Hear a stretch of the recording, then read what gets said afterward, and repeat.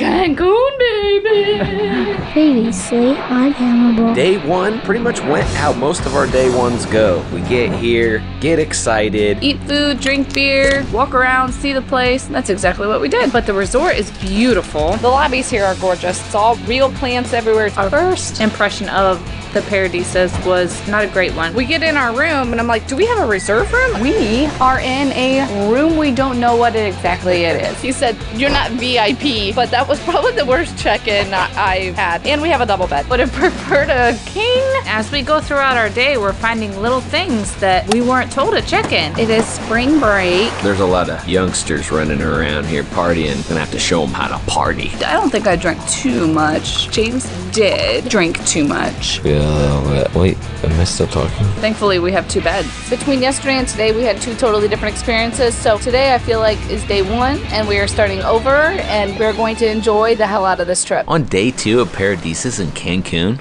we learned some shit.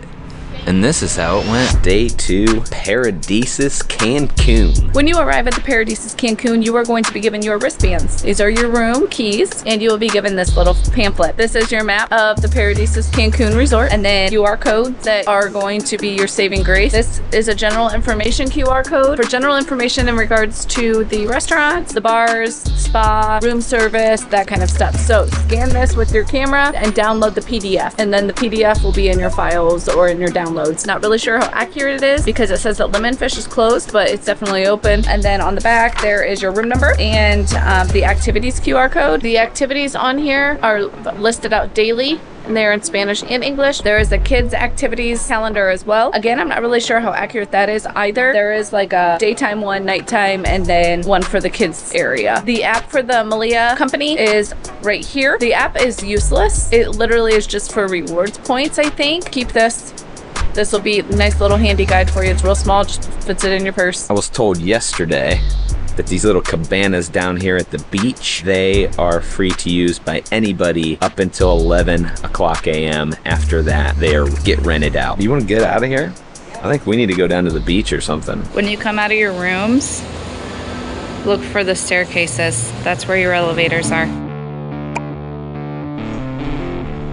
Thankfully, today we have everything squared away. This gentleman ran after us named Enrique and said he was our personal assistant today and he was going to help us out since we had such a cluster yesterday. Took us around the resort and gave us a nice little tour and got our all of our meals scheduled. Showed us where we can eat for lunch, breakfast. Told us what to expect. This is stuff that we should have probably done yesterday. He saved us a little bit of time today. It is a big resort, but it's all very close together, not spread apart. All of your restaurants are like one general area like Pyramid 3. The pools are pretty big. The bigger pool where there is a swim up bar is where everything goes down. And then on the other side of that, it gets shallower. If you're a family looking to come here, that's probably where you would want to be, which is the same pool. It's just a very long pool. There's another pool here on the other side, which is a little bit more chilled and relaxed, I guess. And then there's a section also that is just for reserve members only. I don't know if that's in the same pool or not. Is that a separate pool? So there's three pools? Yeah, so there's three pools here total, I guess. I don't know that for sure, but I will double check that and you will know by the time this video comes out. We've been kind of just running around all morning. Vacation to me is like not sitting around scheduling things. And that's what the beginning of today was like. No mas. No mas. Beautiful beach in the middle of the hotel zone in Cancun. The water is just gorgeous. The beach is gorgeous. They do a good job of upkeep of the beach. It's raining. Look out there. Meteorologist Brandy says we have about 15 minutes. Oh, I feel water drop. Got some rain coming our way. My hair doesn't do well when it gets wet. We need to pick up the speed. We were just out on the beach. It started pouring on us. I think it's done now, though. Went down to the store and they wanted $14 for deodorant. So we are gonna go out and check out the golf course out front of the resort and walk to the pharmacy, which is right across the street. A super simple walk. The front of the resort is one big golf course. So it's a nine hole golf course and I'm not really sure if it's included. That's a nice little perk um, to the resort if it's included. If not, if it's an additional little fee, still kind of nice right there. I got my deodorant for six dollars, a couple dollars cheaper than what I paid in the state. To get back up into the resort, I have to go up these stairs. I'm already regretting this decision. I made it. Today we went out for lunch at the Blue Agave. People seem to like because of their tacos. They serve chips and guacamole and chile diablo and some. Mexican salsa. That was the appetizer. And then the entree was they had like tacos and quesadillas for lunch. Oh man. They have different meats that you can choose from. I got a steak and chorizo and James, oh, he got sirloin, yes. I got a chicken quesadilla and James got a steak and potato quesadilla and all of our food was excellent. Oh It was so good. That was one of the lunch ones that's available. Blue Agave, it's very close to the pool. The views of the water, the pool, the ocean, beautiful. That's one to check out for sure. Tonight we are eating at the Lunchbox. That's one of the best things about being an all-inclusive. You can try all kinds of different foods, go to different restaurants, and if you don't like it, you get up and you go to the next. We're gonna try out a couple different restaurants. There are two restaurants that cost extra. The steakhouse is extra, and then the Kana bar is free. Drinks are included, but the food is extra charge. So that's where you have your good seafood, your lobster, um, that kind of thing is down at the Kana. And that's right on the beach. It looks really pretty. We will not be partaking in any of the restaurants that you have to pay extra for. We typically just eat at the ones that are included in the all inclusive. So pretty. So pretty. I think it's time for a beer. Enrique, when he was walking us around, he was asking us about spring breakers and he said that they just keep coming and coming. Good entertainment for us. I could people watch all day long.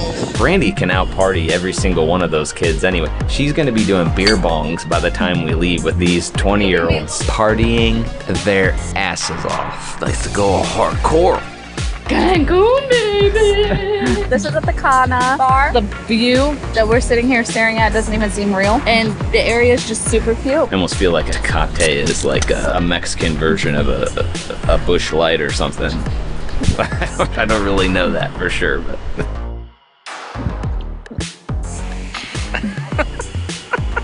A drink made wrong yet again, but it does taste delicious. they will not tell you that they don't know how to make a drink. If you ask them for a drink, they will try to make it. Hey, amigo, how do you make this? And then they try to figure it out. Here at Paradisus, I don't seem too particular on how they're making their drinks. I don't know. I don't know what the f- I'm talking about, honestly. So the drinks are included, but the food is extra. This is the one that I was saying has the lobster and the good food. But drinks are included. Okay, so by the pool, there really aren't a whole lot of chairs because people go down there and put some sunblock on it and one shoe and another shoe on another chair and then save it for all their friends. I got in the pool and I walked over to the pool bar today. The pool water was a little bit chilly at first, but once you got in, that stuff felt so good. We keep getting stopped by people that want us to buy excursions and stuff, and we plan on doing an excursion. We just are not ready to make the commitment yet on when we're going to do the excursions. But we keep having to walk past the people that want us to book the excursions. There are the aquamarine people that have the towels. You pick up the towels at the aquamarine desk, which I understand it, but I'm getting really tired of going to pick up a towel and being bombarded with questions about booking a trip. I don't know how I feel about having salesmen hand me towels. I don't think it's very classy. I think that they need to change it. They need to put those towels with Paradisus staff and not staff from a different company. Like every time we go to get a towel, are you gonna book? Are you ready to book? Have you booked yet? You gotta book by today because I'm not here tomorrow. guys. How are you again? Good, how are you? Ready book?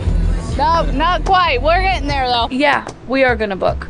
However, I'm on vacation, and every single time you grab a towel, it is you are bombarded by their salesmen. I mean, they're kind individuals. They chase you down. Brandy always sounds like she's interested. She'd be more passive, like I am, she wouldn't be bothered. So be prepared for that. We were told today that that's a trustworthy company if you would like to book small excursions. Brandy's so proud of herself because she knows like two words in Spanish. I know baños and cerveza. In high school, we both took a year of Spanish, which means pretty much nothing. I took Spanish two years, the Spanish one. she took two years of the same Spanish class. so that doesn't even count. Brandy always talks about wanting to learn Spanish. But when we get back, I think Mama's looking into getting us some Spanish classes. She's not gonna learn Spanish. She truly does want to learn Spanish, but she has no time. it's coming down out there. So the rain was just coming down outside. And check out this patio here after the rain. that much water. I have to unplug this water out here. It's a little out of control. I'm gonna try to unjam it with this selfie stick. It appears that that is very, very full. We went back and got ready for dinner. Let's test out this shower. Tequila is a popular drink down here, and my husband thinks that we should take tequila shots. We're in Mexico, and it seems to be the only time I can get Brandy to take tequila shots. So we took them periodically throughout the day. We might have gotten too much tequila today. You coming close? Beware of my They give you like bottom shelf tequila. If you just ask for a tequila shot, so ask for better tequila. I don't really know what they have.